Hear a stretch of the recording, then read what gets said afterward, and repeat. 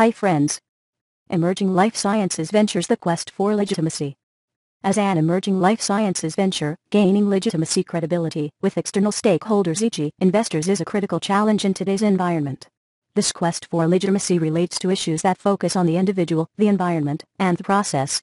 Integrating insights gained from interviews with three CEOs of life sciences companies along with the academic literature, we provide guidance for entrepreneurs regarding their unique challenges facing life sciences ventures.